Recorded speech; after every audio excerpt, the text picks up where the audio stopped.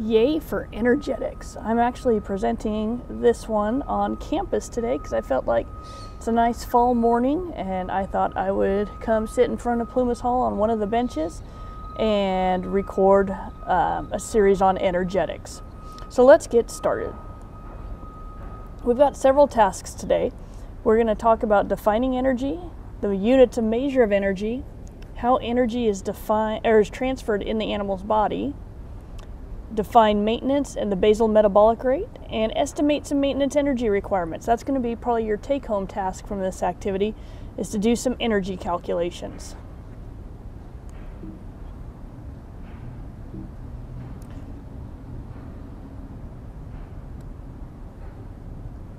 Let's start with sources of, well, let's first talk about the definition of energy if you guys have been through grade school and everywhere else, and they talk about energy as that ability to do work, it's the same with livestock. It's we're providing them with the calories to do work, whether it's growth, lactation, reproduction, performance in some other measure. That's what we're talking about is that ability calories for that animal to do what it needs to do and all living things require energy in some way to perform at their best.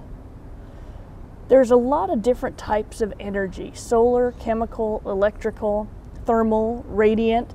The ones that we care about the most eh, from a nutrition standpoint is solar energy that we can capture through our plants through photosynthesis, converting it into a form of chemical energy. Those are the ones that we're really, really going to be focusing on because that's the circle of life and the start of everything is through that capture of solar energy in photosynthesis. And so, as I discussed earlier, energy is the ability to do work. And so, we ask our animals to do work in a variety of ways. First thing we need to know energy itself is not a nutrient, it's not the same as carbs, fats, and proteins. Those are nutrients. And so when we talk about energy, we may talk about energy requirements as nutrient requirements, but we have to understand that energy requirement, energy itself is not a nutrient.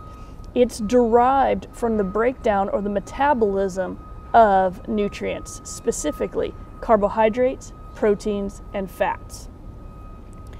In the body, there's this compound called ATP, adenosine triphosphate we think of this as like our cash for the body. Okay, show me the money, show me the ATP.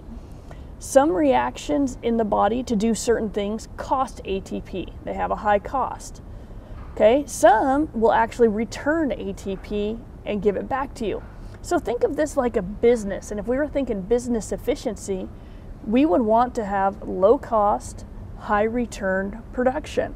So when we're feeding in our animals and trying to provide the energy for their growth, maintenance, and development, we want low cost inputs for calories, but we want the maximum returns. So how do we get the best value for our dollar when we're supplying these calories to our livestock? And that's what we're going to start setting the foundation for is how our animals actually use these calories and what we can do to be more efficient with that. Okay, so first thing we need to be able to do is define a calorie. And a calorie is simply the amount of water it takes to raise one gram of water one degree Celsius. And so we can actually do this up in the lab. It's called bomb calorimetry. You literally put a gram of sample in a, a big steel ball bomb and fuse wire and fill it with flammable oxygen and you ignite it and measure the temperature change in the water that you place it in. And so conceptually, that process relates directly to the um, definition. And so, because we're dealing with big animals, even our sheep and goats are big animals, but um, for sheep, goats, um, sometimes pigs, depends, um, poultry, we're going to use kcals or a thousand calories. The larger livestock, we're going to use mcals or megacalories, which is a thousand kcals, just so we have manageable numbers. Because I don't think I want to say a cow is going to be eating 400,000 da da da da da calories, kcals per day. but I can say four or five mcals and it's easier to work with. So the smaller livestock are going to be in smaller units, kcals, and it may be like 3,000 kcals, okay, and as opposed to megacalories. Animals utilize nutrients for two different functions, and their, their efficiency of utilization of these two different functions is different. And so the first thing, and I think of this as a pyramid or a triangle that has a foundation, the first thing the animal has to use its calories for is going to be maintenance. Without maintenance being met, production will not happen. An animal must eat enough to meet all of its maintenance energy needs before its body will even consider production. So, for example, if we're feeding some growing lambs, and we're just meeting their maintenance production. We're just feeding alfalfa or something that's barely covering maintenance energy. And but we're wanting them to gain weight. We have to add some higher calorie foods to that, like a grain mix, maybe even some fat supplements, in order to provide those calories that will fulfill maintenance and allow them to move up that pyramid into production.